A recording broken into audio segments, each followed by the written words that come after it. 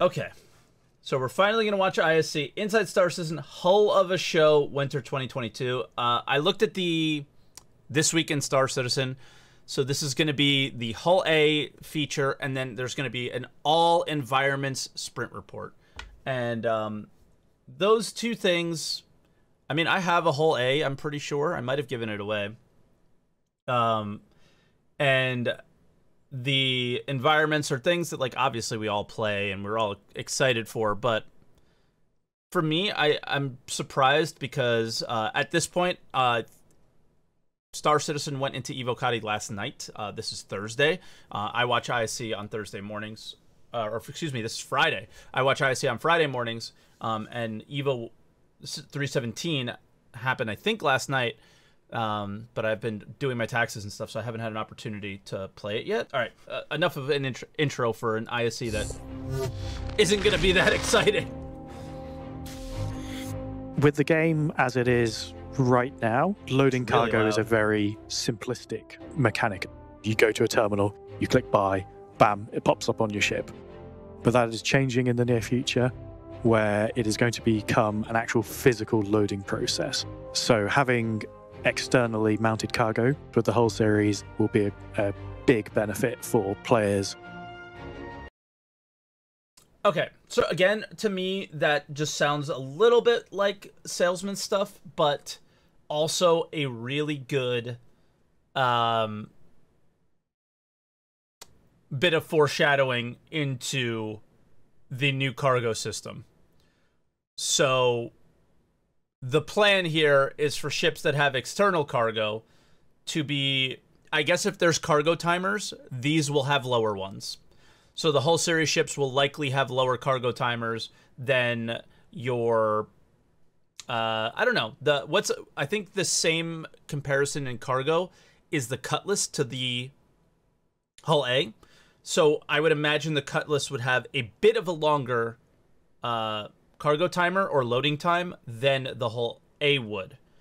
But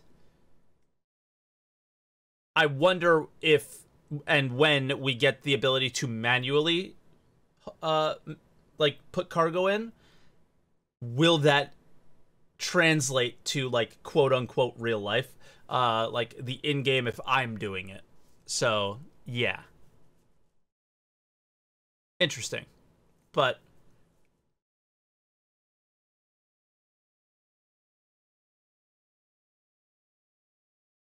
I don't know. So that's what I'm thinking is like that when it comes to loading timers, that's how they're going to give this ship the advantage and that's how they're trying to sell it to us at the like that just sounds like he's trying to sell me on the ship. I think I think that's literally what they ask these guys um when they bring them on uh and record them is they're like so sell me on the Hull A, right? And then and then they do it. And there's nothing wrong with the that. The MISC Hull series is a lineup of ships uh, purely designed to carry cargo from point A to B. And the lineup consists of five ships, the A being the smallest. And I have.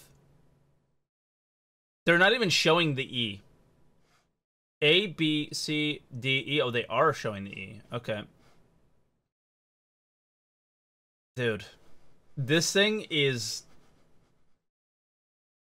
I don't even understand what that thing will do and like I can't comprehend the cargo or the the economy with what we know currently in the game now, right? The Hully being the largest. As you progress up the sizes, you move into larger quantities, going longer distances. Okay, so as you move up, larger quantities that can go longer longer distances. So bigger quantum fuel, larger fuel tank. Makes sense to me. Um, I've always like I don't know how you guys have thought. I've always thought of the Hull series this way, and I've also thought the same thing about the the Argo cargo in the same way. Uh, we have orbital stations above every landing zone, and uh, I always saw these small ships being the but it, it just it doesn't make sense uh in in reality on how the game plays but i always envision them being like okay you bring these like long haul cargo situations to the cargo decks, and from the cargo decks you disperse everything uh, down to the surface of the planet and the moons around. And I guess for the Argo cargo, I always thought of it being um, more for that. It, it, it's very weird to have a vehicle that's only used to move items from ship to ship. That's why I really believe that the Argo cargo needs uh, a quantum drive that just does blind jumps around planets. Right? It should have like incredibly low fuel or something like that because it, it's it, it's so limited in its use. But something like the Hull A is kind of like perfect, right? 46 SCU, bang, bring it down to the surface uh, from the cargo deck, and you can bring you know a thousand SCU to the cargo deck in a big ship. Let's say, I mean, I think I, I don't even remember what the Hull E can carry, but let's say it's a thousand SCU just for the story, and then you take your Hull B and Hull A down to the surface. You know, maybe with your org, you have a bunch of them, and you disperse all that material to I don't know, the land that you own down there. But that's how I've always visioned this is that it was a, a very clear bring it to the cargo deck and then you get missions or you use the cargo deck yourself to disperse the material where you want. Um, because that is where you would have the space to store said cargo. Um, but yeah, I don't know. It's it's just how I always looked at this ship is it was um, station to surface. The Hull E is 8,000 SCU. I, I don't, yeah, we'll see what it ends up with, but 8,000 SCU is like, can that ship even be on screen at 20 FPS? I have no idea, right? So. And then you use the smaller ships in the series to do the short range of long distance cargo hauling. The short range of long distance cargo hauling. What the the what did he just say? Can we hear that whole sentence over again? And then you use the smaller ships in the series to do the short range of long distance cargo hauling. Sir.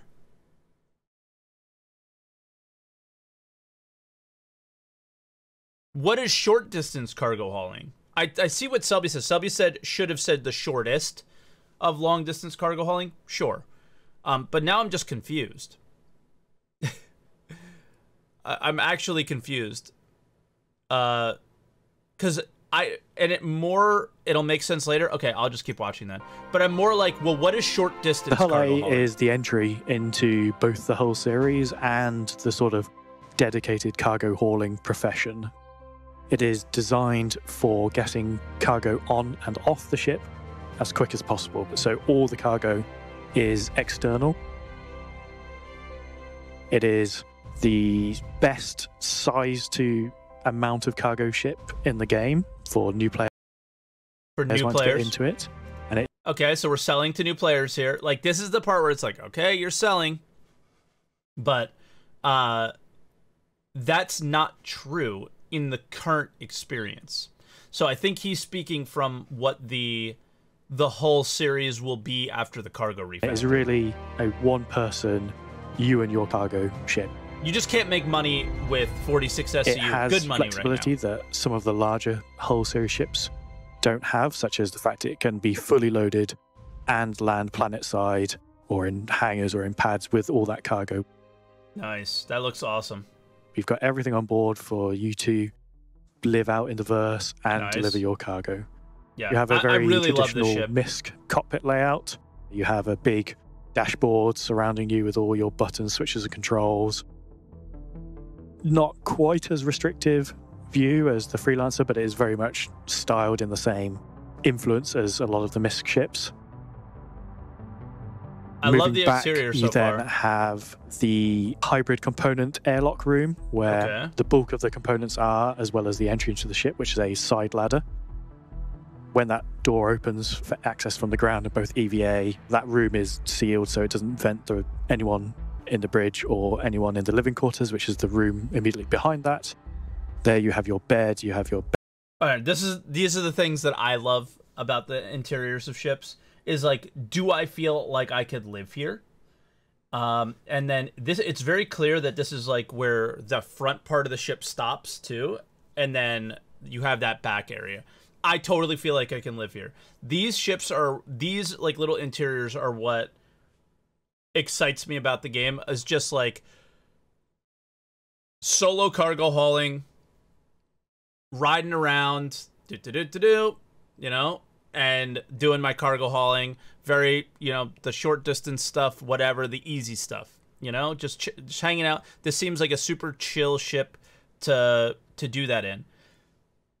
One day, right? My biggest issue is is that it is hard to imagine what cargo hauling will be until we know more about the cargo refactor until we know more about like how do you plan on doing cargo missions? You know things like that. Because this is like totally uh just take cargo mission ship over and over you know missions over and over again uh in your little immediate vicinity around a planet right uh, let bring some of this from here to there, bring some of that to here to there, and you just chill. You know, that's it's kind of like that. You have Netflix on the other screen, and it, it's like the I, I don't know the elite dangerous ship in a way, right? I think cargo hauling can really be like that. Or you can have the big ships that maybe need a little bit more. I don't know if you have to maintain the cargo or keep an eye on things and have extra people on those ships, like on the Caterpillar and Hull, uh, not Hull, um, the C2 and maybe the Hull C and, and beyond, that there's a little bit more hands on and maybe you need more people. But a ship like this is, yeah, just move stuff back and forth. You know, maybe you get attacked by a pirate and, and have to deal with that you know, leave them some cargo or whatever. You know, I think it would be cool. Uh, do I think the Prospector interior needs a rework uh, to match the new layout of the Hull A? No, it's pretty much the same. I I don't know if there's a kitchen in the Prospector off the top of my head, so you know if there is, it would be smaller than this, and I think that that's okay because I don't see the Prospector as um, I, I don't know. Like this one feels yeah, I, I, I see the Prospector as you can live in it, but it doesn't feel as homey as this. But it's also more industrial. This is like your 18 wheeler truck. They have the bed and everything in there. It, it just makes Basic sense. food making facilities. And then at the very rear of the ship, you have a small bathroom area which has the classic toilet shower combo nice. and sink the A is releasing before the cargo refactor comes out, so it's still going to function as a cargo ship, um, but a lot of its benefits will be unlocked over time as the cargo refactor comes in and is iterated upon, and it will just get a much stronger and stronger choice of cargo ship. People have been okay. So again, um, you're gonna try it out in the PTU. You're gonna go, yo, the animations look sick uh, you may feel the way that I do about it uh, in the long term, Star Citizen. Like, I could totally see myself using this ship, but not now, right? So, in the current Star Citizen experience, 40 something SCU is not going to cut it uh, to make any sort of money. It, like, I feel like I was risking a million credits to make a 100,000 credits or something like that, 200,000 credits. Uh, and you know each run was taking a fairly significant amount of time. I I just cargo hauling and the economy is in such a weird place that these ships just don't they don't feel right yet. And it's just one of those things where we have to kind of wait until those aspects come in. And that it, it is what it is. And I, i'm willing to wait for it. But yeah you know the ship excites me but n- not now wanting the Hull series in game for a long time and with the release of the a that's a reality now it's been great to get this out there and it's helped us prove out some of the issues that have prevented the Hull C from coming out. Looking forward to seeing everyone playing with the Hull A and getting ready for the Hull C. Yeah. Yeah, and, and uh, like Duke said in, in the chat, like the cargo refactor, they made it very clear in, in this statement as well that um, it's not just going to be flip a switch on and it's going to be great. Uh, it's going to get its features down the line, which obviously makes sense, right? Um, it's not going to be like fully turned on and, and, and amazing on day one. So it, it will gradually see improvements to it over time. The A is making its small but impactful debut in the upcoming Alpha 317 and will continue to grow into its intended role in the persisting universe as the cargo refactor comes online and continues to There iterate is no in impact in subsequent patches. 317, but and up next, it's time for a special locations-based sprint report. So let's get to it. Let Hold on, guys. Uh, pyro stations, pyro moons. Uh, what what were they called? Uh, homestead outposts, der- and then the derelict versions of them. Did I get it right? Let's start things off this week with a look at current progress on cloudscaping for No. Planet Hurston. What clouds on Hurston? what you're nice. seeing here are the results of recent explorations in taking the pipeline you've seen demonstrated before completely out of Substance Designer and into Houdini entirely, potentially allowing for an increase in simulation data and better shaping than we had previously.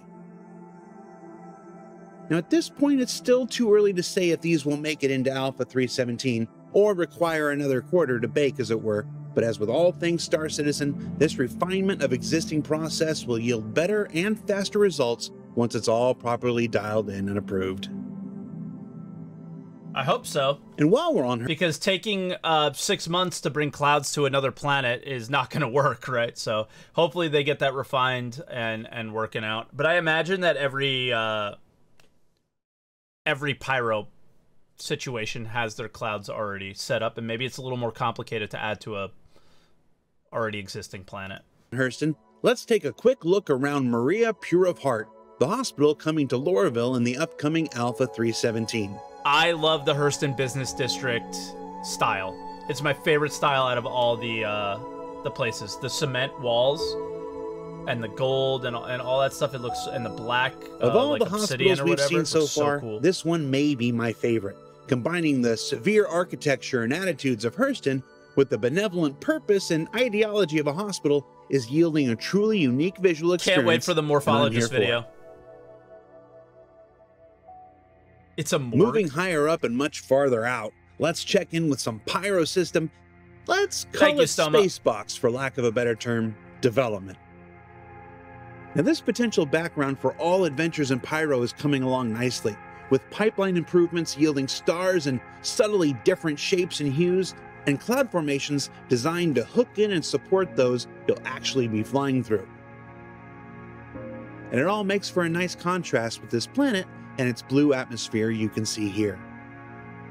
And then down on the planets, when the exposure changes at night or at sunset or whatnot, you can see the hues and forms change appropriately, That's which is cool. super cool.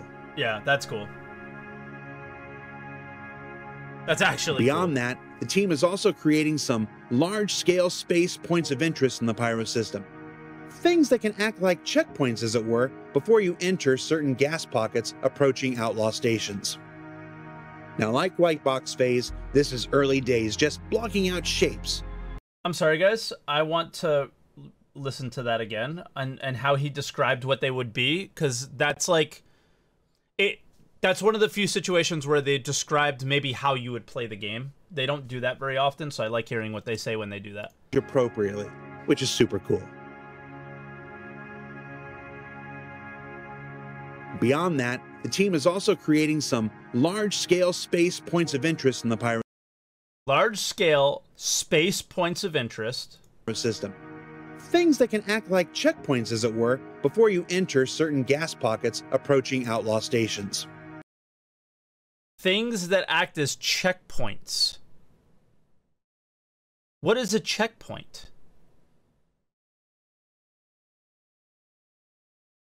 So, possibly this is how I see it. Uh, you can't jump directly jump. You may not be able to directly jump into a station. You know how you um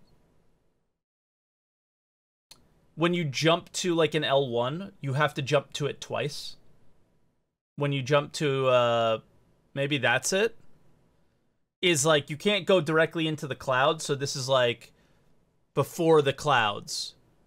And then you can go in because the clouds are really dense and maybe there's like electrical interference or something that that will be planned at a later date. I don't know. Um, but I'm trying to think from a gameplay standpoint how the game plays now. That doesn't entirely make sense because we just have quantum drives that bring us really close. But I don't know. I don't know what the intention is here. Now, like White Box Phase, this is early days, just blocking out shapes. And and and before anybody freaks out, the Bengal you see here is just to show the proper scale read. Yeah, it's huge. Okay. As these continue to develop, they'll get things like final geometry and lights to flesh out the experience further.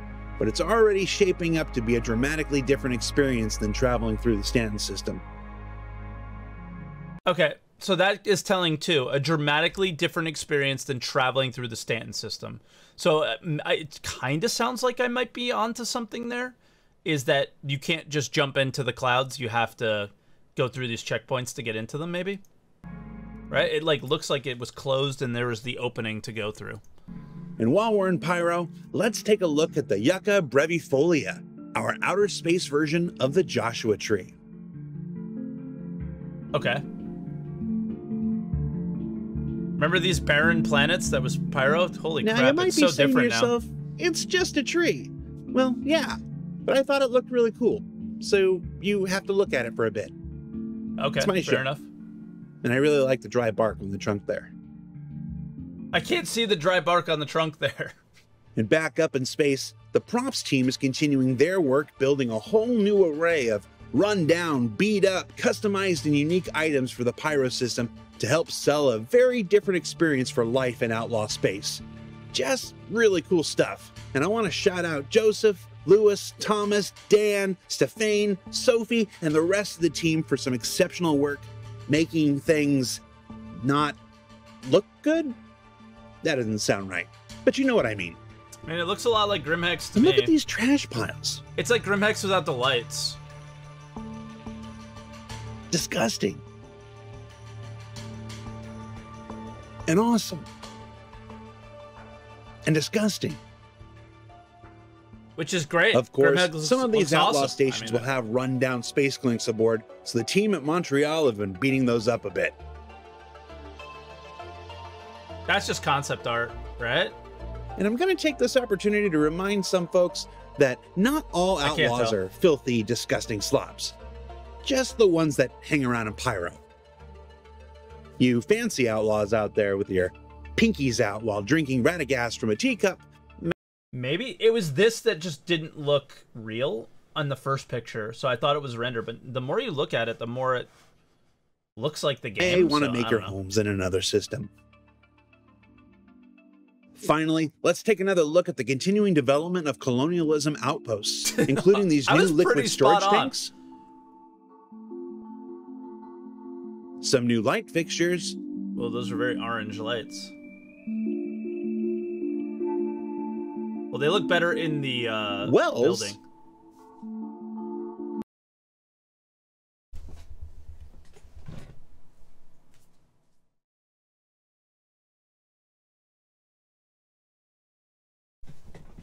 Excuse me? I really hope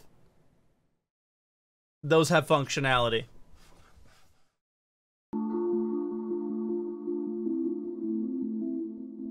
Don't get excited. and new garden modules. Oh my god, don't get excited. Don't get excited. Don't get excited. Don't get excited. Don't get excited. Don't get excited. All right, I'm not excited. You know it's the future because of hexagons. Then, from one outpost type to another, another look at white box explorations of derelict outposts. All right, I think I did a pretty good job of this. Now, like all white box phases, it's an important step in identifying which areas are likely to become traversal nightmares and may want to be adjusted for gameplay reasons before we move on to final art. Guys, remember, the NPCs get these first, then the players. We don't know when the players will get it. There has been gardening and little hydroponic things at Outpost for many, many years now. They provide zero functionality to the game currently to the player. It will be the same. I'm setting my expectations. I'm not telling you how to think. I am speaking out loud my own expectations, and I'm setting them properly. But overall, these derelict outposts are another opportunity for stories and missions to be told across Pyro's planets cool. and moons. The roots and everything. So, what did we learn this week? Well, we learned that the Hull A is ready to make its mark on the persistent universe. that the Cloud Tech pipeline continues. It's literally not, because it won't make its mark until the cargo refactor. Also, the Whataburger shirt. To be refined and updated, as we saw in Hurston, and that Pyro continues to shape up to be an experience unlike any currently available in the Stanton system. Now, don't forget that Stella Fortuna is just around the corner. Keep an eye out on the RobertSpaceIndustries.com website for details. For Inside Star Citizen, I'm Jared Huckabee. We'll see you all next week.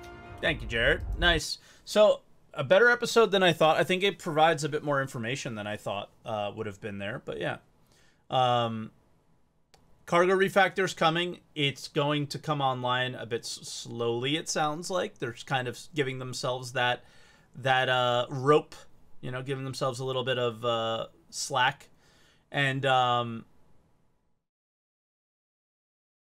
I really hope. I really hope. Like we know that they are working on the tools to have us make our own outposts, right?